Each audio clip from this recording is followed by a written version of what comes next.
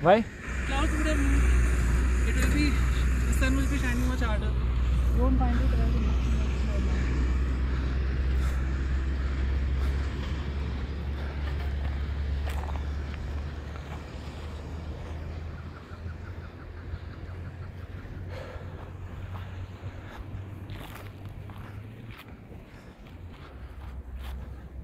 This is breathtaking.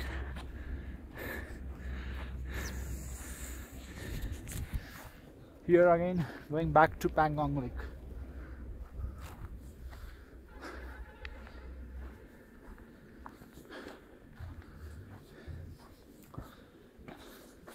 You can see a lot of animals there.